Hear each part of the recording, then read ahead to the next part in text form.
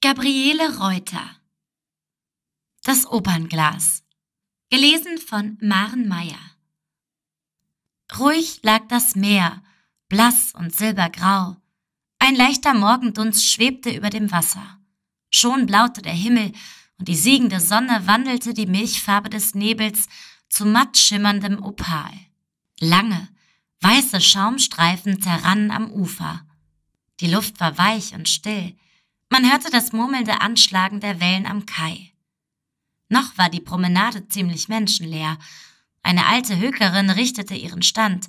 In ihrer Nähe bewegte sich ein Weib mit schwarzem Stirngelock und bronzegelber Haut, wie ihrer manch eine die Laune eines Schicksals von südlichen Ufern nach den nordischen Hafenstädten verschleudert.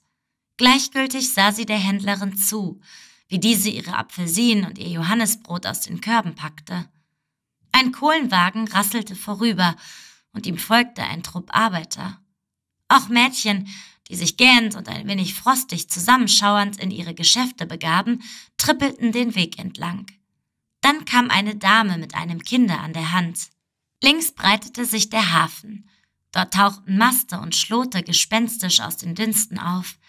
Die junge Frau, die mit ihrem Töchterchen auf dem Kai wandelte, beobachtete, wie die Umrisse immer deutlicher wurden, wie man jetzt die weißen und roten Streifen um die kurzen schwarzen Dampferschornsteine unterscheiden konnte und jetzt das Gespinst der Taue an den Rahen der Segelschiffe. Ein großer Schoner löste sich aus der Masse der anderen Fahrzeuge und fuhr hinaus, langsam und vorsichtig seinen Weg in den schmalen Wasserstrafen des Hafens nehmend, bis er freie Bahn gewann. Und nun zog er wie eine aus Silber gewobene Erscheinung stolz und ruhig ins Weite.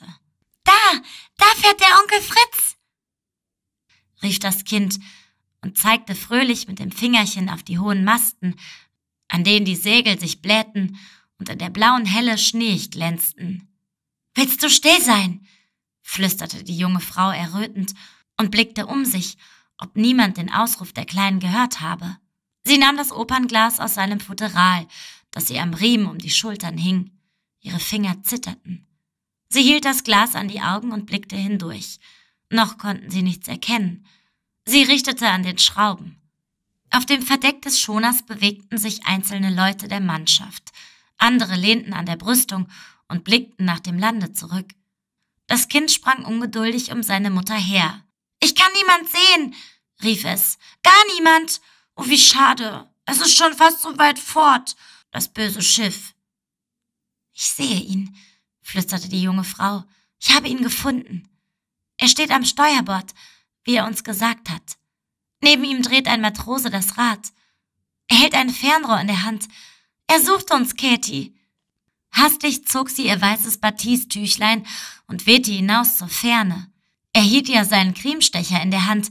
Gewiss, er konnte sie noch entdecken, wie sie dort stand am äußersten Rande des Kais, schlank und fein im silbergrauen Mantel, mit dem kleinen Hütchen mädchenhaft und fraulich zugleich, mit ihrem kleinen Mädchen, das mit seinen Händchen Abschiedsgrüße winkte. Und wieder hielt sie das Glas vor die Augen, das kostbare liebe Glas, das ihr gestattete, ihn noch einmal zu sehen, scharf und deutlich.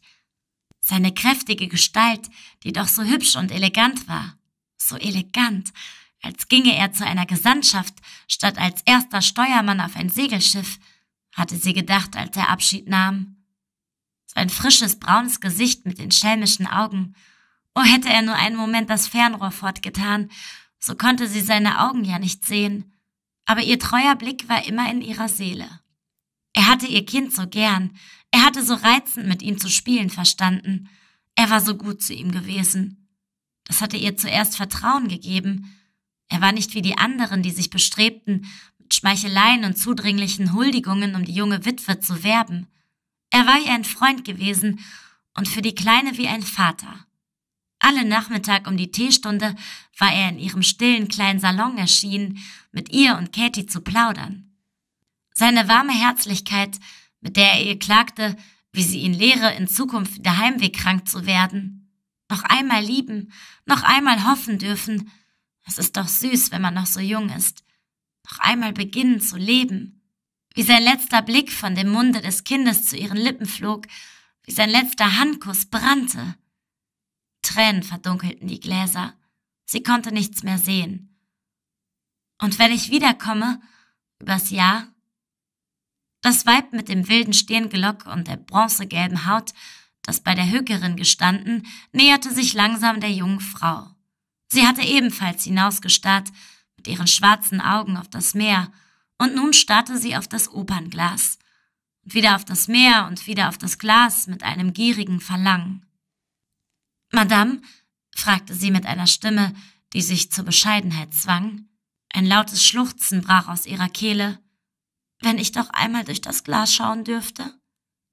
Oh ja, gern, sagte die junge Frau, verwundert und befangen die andere betrachtend, den dürftigen bunten Schal über den üppigen Formen, das schwarze Spitzenfätzchen über dem schwarzen Gelock, wie ihre Lippen bebten und die Tränen aufsogen und sich plötzlich zu einem wollüstig seligen Lachen öffneten.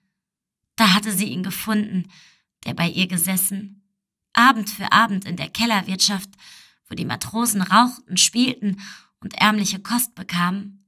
Er, der doch ein Herr war, wie man gleich sehen konnte, den sie bewunderte, weil er sich nie betrank, über den sie staunte, weil er keinen Lärm und keine Raufereien begann und nicht hinausgeworfen werden musste wie ihre anderen Gäste der ihr Rechnen und Einrichten und Wirtschaften half, mit der Klugheit eines Mannes und der Treuherzigkeit eines Kindes, den sie anbetete wie eine Mutter und eine Geliebte zugleich, mit der hündischen Ergebenheit einer Magd, für den sie ihre Sparpfennige opferte, um das junge Leckermaul an sich zu fesseln durch dicke Aalsuppe und guten Wein, und der trotz seines feinen Rockes so wild und heftig lieben konnte. Ach, wenn sie hier, wohin er sie bestellt, zum letzten Abschiedsgruß hätte stehen müssen und so blind und ergeben nach dem fernen Schiffe starren. Mit einer leidenschaftlichen Bewegung drückte sie das Opernglas an die Brust und küsste es. Wehmütig lächelnd sagte die Dame an ihrer Seite, Geben wir das Glas auch dem Mädchen dort drüben? Ihr fährt wohl auch etwas Liebes davon. Atemlos, glutrot war sie angelaufen gekommen, den schweren Marktkorb schleppend und die Blicke ihrer blauen Augen irrten verzweifelt über das Wasser nach dem ferne und ferner segelnden Fahrzeug, und sie hielt die Hand als Schirm über die Brauen und presste dann trostlos die beiden kleinen roten Fäuste vor das Gesicht und weinte.